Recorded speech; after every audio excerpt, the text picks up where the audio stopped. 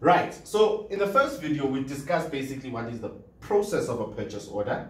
So now we're going to discuss what a purchase order is legally, right? And this is very important because primarily what happens is in a large company or a federated company, which means a company that's got lots of divisions, is that to manage the process of buying and selling, uh, of, of buying goods from suppliers, they use a system which has purchase orders.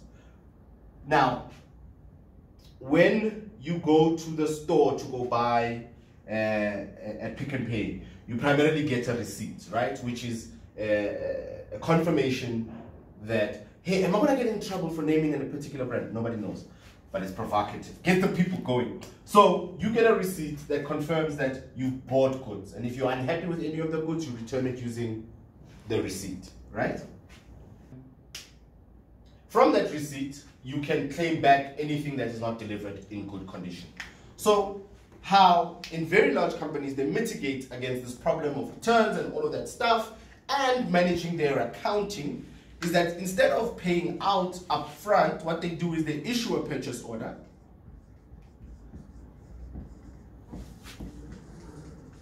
And on the purchase order, there'll be a specification of what they want, when they want it, how much they're paying for it, who's the person in charge of buying it, procuring it. Um, think of this. So inside a company, there'll be somebody called a buyer, right? And that buyer would be like the waiter, right? So that's the equivalent of the original example we're using in the restaurant. It's like a waiter. And who's in charge of that whole transaction with the company.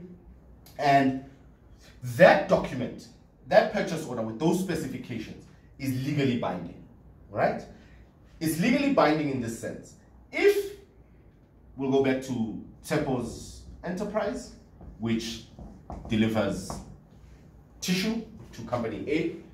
If Tshepo Enterprise delivers according to the specifications written on the purchase order, company A now has a legal obligation to pay Tshepo.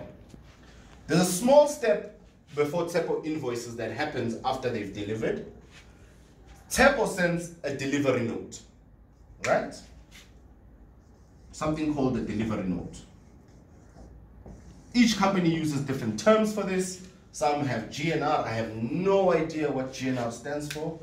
Um, the team might be able to tell you, but every company has a different methodology of terming the delivery note.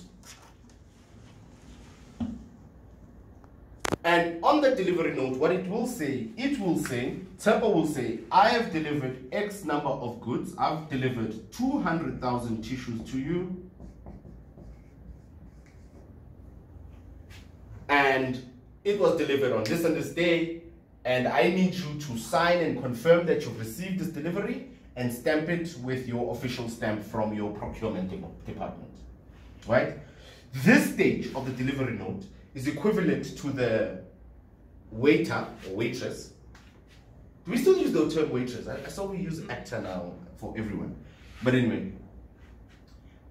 And the waitress comes or the waiter comes to you and says, Is everything in order, sir? And you say, Yeah, no, everything is order, or ma'am, is everything in order? And you say, Yeah, everything is in order.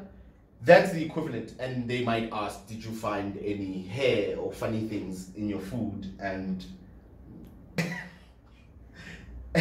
and then on this confirmation, that is the equivalent to a delivery note. You're saying everything is a-okay. Sometimes the chef comes and says everything in order. Sometimes you send back the food and you say the food is too cold and all of that, right? This happens a lot in this process where the wrong things were delivered according to the purchase order and then they have to be replaced, sent back to suppliers and then changed and that sort of thing. That's the equivalent process of the delivery note. Then once it's delivered and the waiter has asked you, are you happy? Now they send out the invoice. This is equivalent to Tshepo sending out the invoice. Now,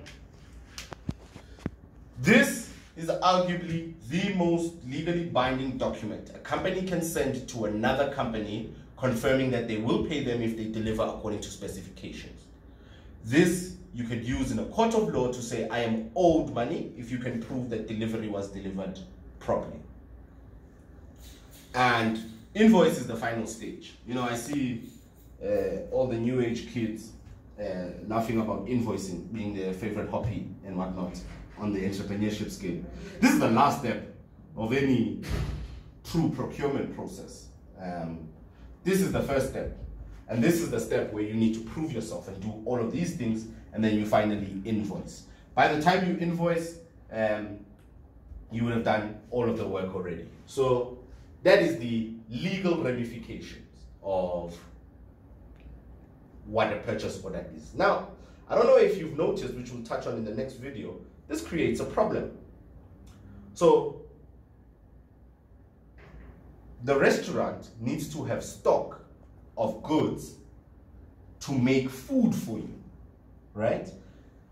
Now, in a restaurant that's running constantly all day, every day, that's pretty simple uh, economics because it's a small order, right?